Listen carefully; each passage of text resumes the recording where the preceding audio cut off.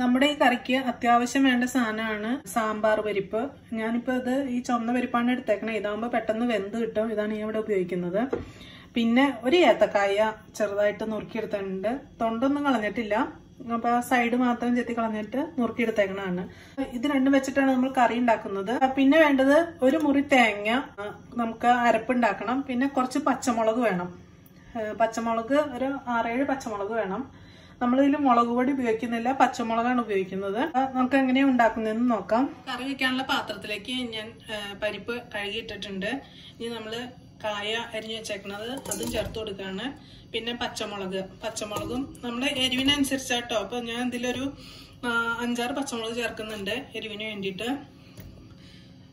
ഇനി നമുക്ക് ഇതിലേക്ക് ഒരു നുള്ള് മഞ്ഞൾപ്പൊടി ഇട്ട് കൊടുക്കാം. ഒരു കാൽ സ്പൂൺ മഞ്ഞൾപ്പൊടി ചെറിയ സ്പൂൺ മഞ്ഞൾപ്പൊടി ഇട്ട് കൊടുക്കുക ഉപ്പ് നമ്മൾ ഇട്ട് കൊടുക്കുന്നില്ല. പരിപ്പ് വെന്തതിന് ശേഷം മാത്രം ഉപ്പ് ഇട്ട് കൊടുത്താൽ മതി. അപ്പൊ നമുക്കത് വേവാനുള്ള വെള്ളം ഒഴിച്ചു കൊടുക്കാം. അപ്പൊ ഇത് നിരക്കി വെള്ളം ഒഴിച്ചു കൊടുക്കാം. ഇനി ഇത് നമുക്ക് അടുപ്പത്തേക്ക് വെച്ചു കൊടുക്കാം. ഈ പരിപ്പും കായും വെന്ത് വരട്ടെ. അപ്പേക്ക് നമുക്ക് അതിനുള്ള തേങ്ങ അരച്ചെടുക്കണം. തേങ്ങ അരയ്ക്കാനായിട്ട് നമ്മൾ ചുരണ്ടി വെച്ചേക്കുന്ന ഒരു മുറി തേങ്ങയുടെ പകുതി തേങ്ങ മാത്രമേ എടുക്കുന്നുള്ളൂ. പകുതി തേങ്ങ നാം ജാറിലേക്ക് ഇട്ട് പിന്നെ ഒരു പച്ചമുളക്. പിന്നെ ഒരു നുള്ള് ജീരകം കൂടി നമുക്ക് ഇതിലിട്ട് കൊടുക്കാം. ഇത് നന്നായിട്ട് അരച്ചുകൊണ്ട് വരാം.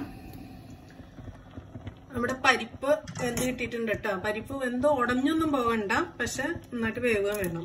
പരിപ്പും കായും വെന്തിട്ടുണ്ട്. അപ്പൊ ഞാനിവിടെ അരച്ചു വെച്ചിരിക്കുന്ന തേങ്ങ ജീരകം പച്ചമുളക് മിക്സ് ഇതിലേക്ക് ചേർത്ത് കൊടുക്കാണ് ഒട്ടും വെള്ളമൊന്നും ഇനി ഒഴിക്കണ്ട കേട്ടോ. കുറച്ച് കട്ടിയായിട്ടില്ല നമ്മൾ എരിശ്ശേരിയിൽ ഇരിക്കുക അപ്പൊ അതുകൊണ്ട് വെള്ളമൊന്നും ഒഴിക്കേണ്ട ആവശ്യമില്ല. നന്നായിട്ട് ഇളക്കി കൊടുക്കുക. നമ്മളപ്പോ ഉപ്പ് ഇട്ടിട്ടില്ല. ഉപ്പ് ഇപ്പൊ നമുക്ക് ഇട്ട് കൊടുക്കാം. പാകത്തിനുള്ള ഉപ്പ് ചേർത്ത് കൊടുക്കുക.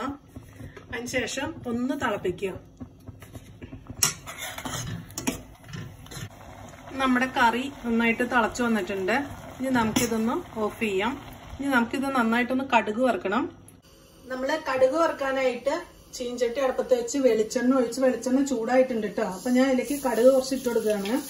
ഒരു ഒരു സ്പൂൺ കടുകിനടുത്ത് ഇട്ട് കൊടുക്കുക.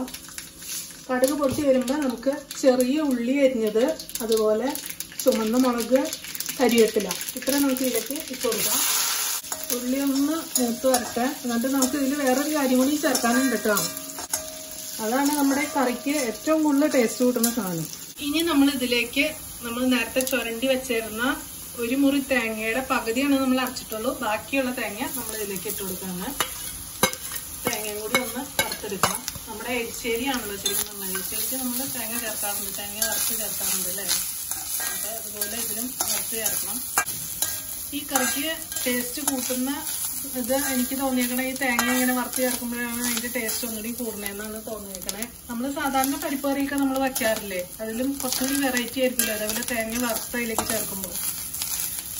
എന്തായാലും ഈ കറി എനിക്ക് പറഞ്ഞു തന്നത് എന്റെ ഒരു ആത്മാർത്ഥ സുഹൃത്തുക്കളുള്ള ഒരാളായ ജയയാണ്. ജയയ്ക്ക് ഈ സമയത്ത് ഒരുപാട് താങ്ക്സ് ഞാൻ അതിന് ശേഷം അവളത് പറഞ്ഞു തന്ന ശേഷം ഒരു മൂന്നാൽ പ്രാവശ്യമെങ്കിലും ഈ കറി ഉണ്ടാക്കി നോക്കിയിട്ടുണ്ട്.